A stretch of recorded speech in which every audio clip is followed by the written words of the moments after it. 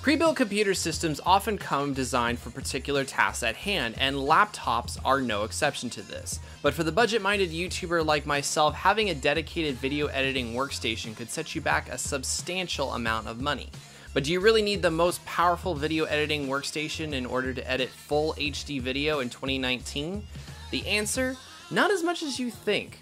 What's going on YouTube? My name is Chris and this is the Lenovo W540. This workstation packs more than enough power to edit full HD video and you won't believe how much I paid for it. So how did this laptop take the number one spot?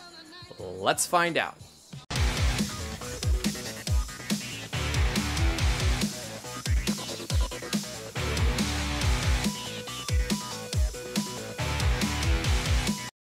This Lenovo W540 may look like an old briefcase laptop of the 80s and 90s, but there's some substantial power for this aging beast. First feature I want to point out was the backlit keys, which come in two modes, bright and brighter. I like this feature because I sometimes work in the dark and can't always see the keyboard. The keys are chiclet style, tactile, and responsive, and have decent actuation. The workstation weighs about 5.8 pounds and its form factor is slightly on the bulky side compared to your typical MacBook Airs and Ultrabooks, but the I.O. on both sides is plentiful, including Thunderbolt support, VGA port, USB 2, 3, and a card reader with expansion port and headphone jack. The right side includes an optical drive, USB 3, USB 2, and a Kensington lock. On the back, it's more of a simple layout Ethernet, battery, and power connector. ThinkPads are known for being built like tanks, and this workhorse utilizes glass fiber reinforced plastic on the outside and a magnesium skeleton on the inside to guard against drops.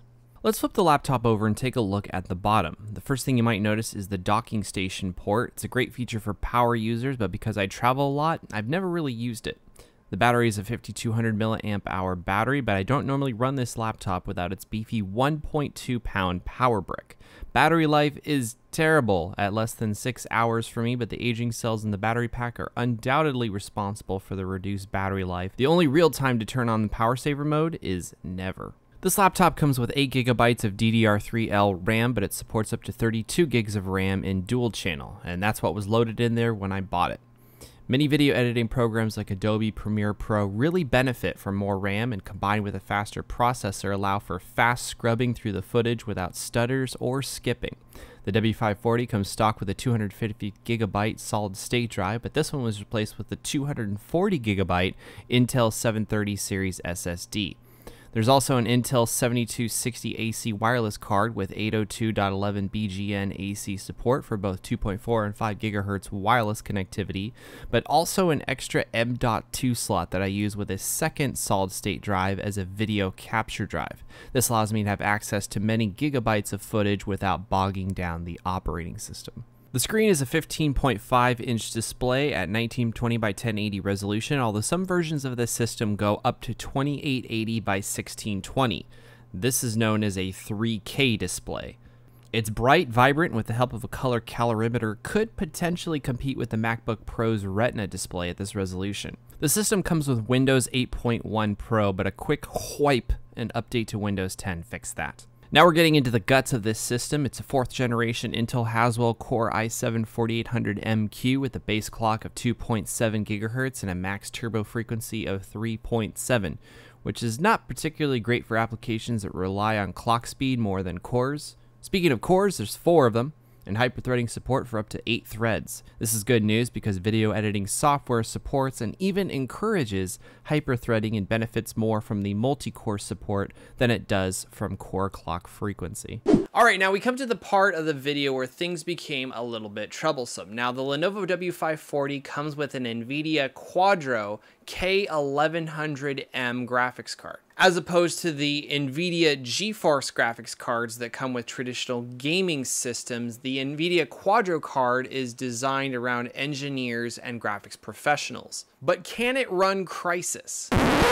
I'm not actually going to run Crysis. Can it run Crysis is actually an expression used to critique the hardware of a gaming system by its ability to perform running a very graphic intensive PC title called Crysis. But the answer is probably not. The 2 gigabytes of GDDR5 RAM is probably not going to be enough for most games. In fact, the K1100M is more closely aligned with the GeForce GT 740M, which would run most 2013 titles at medium settings, including World of Warcraft.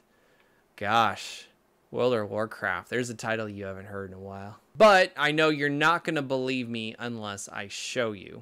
I feel like it's kind of ridiculous that I should have to benchmark a workstation, but I want to prove to you that this computer is in fact a workstation not a gaming PC. But anyway, if you guys are ready for some laughs and some cringy moments, well, let's get it over with. So I compared this laptop to my current desktop, which is a respectable Skylake 6700K processor, an NVIDIA GTX 1060 graphics card, 32 gigabytes of DDR4 RAM, and a SATA 3 SSD. First up on our list is Assassin's Creed Origins. It was recorded at 1080p with very low settings, DirectX 11, and everything else turned turned off. The desktop pulls ahead at 91 frames per second, while the Lenovo W540 chugs along ever so slightly at 13 frames a second. Next is Far Cry 5, again recorded at 1080p, low settings and everything off.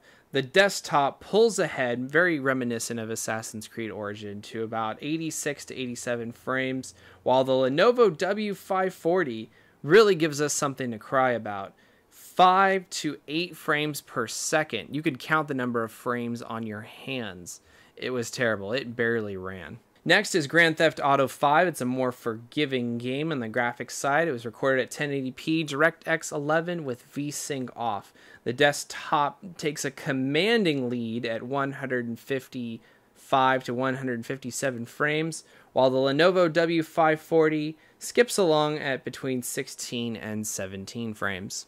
And last, I went with an older title, Metro Last Light Redux. This one was recorded at 1080p medium settings and everything off. The desktop, again, taking a commanding lead at 156 frames per second, while the Lenovo W540 still struggling, even with an older title, 22 frames a second.